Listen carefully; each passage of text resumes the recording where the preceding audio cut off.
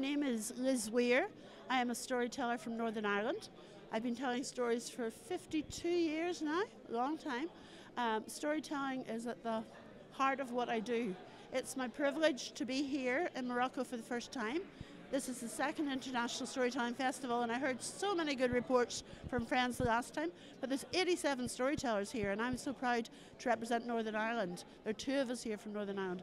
Um, where I live, storytelling is very important to bring people together, to promote cultural understanding, to help, as you probably know, we had some troubled years, to help bring people together. If you listen to another person's story, you're giving them respect, even if you don't agree with what they're saying. So, part of my role now is to train younger storytellers to come on to carry on the tradition. Well, as I said, storytelling is really important for me because it promotes understanding. Storytelling brings together people of all ages. I tell to very young children right up to people 100, 103. People with disabilities enjoy stories. People who are living with dementia enjoy stories. So I think storytelling is the most democratic of all arts. I don't think storytelling is something that can be preserved like an aspect that's not changing. Storytelling is constantly changing. What I think we can do is instill a love of storytelling so that people coming after us will continue to tell.